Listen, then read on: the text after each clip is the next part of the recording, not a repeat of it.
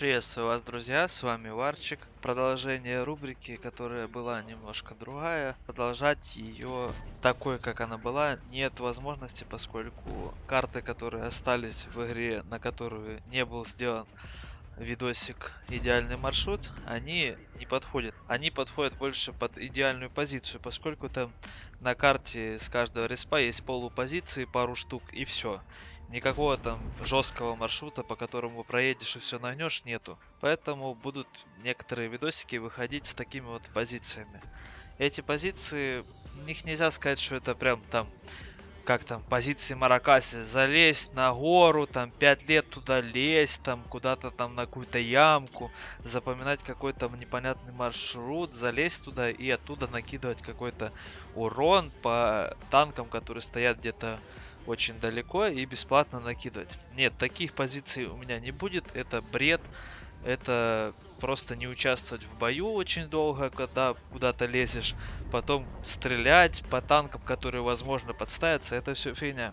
Будут нормальные человеческие позиции. Это просто, так сказать, удобные точки для ведения боя, для подсвета, для активной игры и для нанесения урона. На Прохоровке все просто. Едем на центр карты. Кто-то любит на гору иногда на этой карте, на этом респе ехать кто-то любит под железку становиться в центре. Я же люблю стоять просто посередине. Там очень хорошо играется от башни, очень хорошо светятся на первой минуте светляки, которые переезжают, и можно сразу дать тычку, если они светить не умеют. А в нашей игре на ЛТ практически никто светить не умеет. Очень редко, когда кто-то светит как надо. Чаще всего целиком прям выезжают на бугор, показывая весь свой танк. Так делать нельзя. Для того, чтобы подсветить, достаточно того, чтобы у вас из-за бугра, из-за холма, по которому вы едете, достаточно, чтобы у вас торчали одни лючки.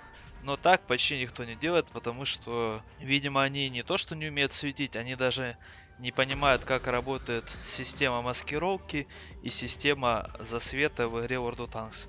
В принципе, они тупо не понимают механику игры. Вот поэтому, наверное, они и так вот безалаберно светят. Мы занимаем центр.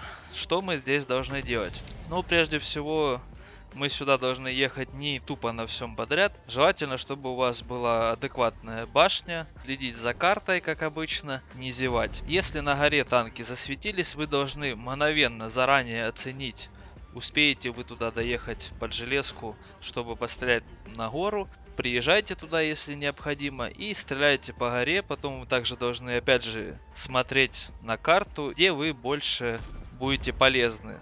Стреляя с под железки на гору, либо возвращаться опять на центр и с центра работать по зелени, либо по центру. Также здесь не помешает очень хороший обзор.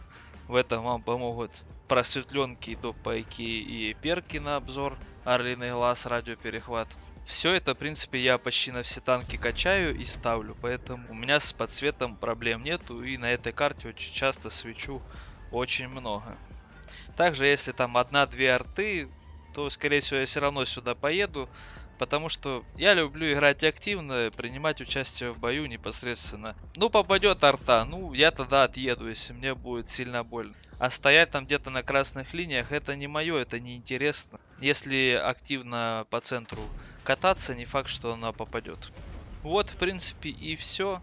Также еще не помешает, играя на Прохоровке, считать, сколько танков врагов светилось, какие танки светились, сколько танков не светилось и думать головой, где, скорее всего, эти танки находятся. Это очень часто помогает на карте Прохоровка понять, да, можно ехать, можно ли сейчас ехать в атаку или нельзя. Часто бывает, что гору продавили, и вы не знаете, стоит ли ехать по зелени вперед или не стоит. Так вот, в этот момент стоит посчитать, сколько танков врагов уже слились, сколько танков светилось и сколько не светилось, ну и сколько арты.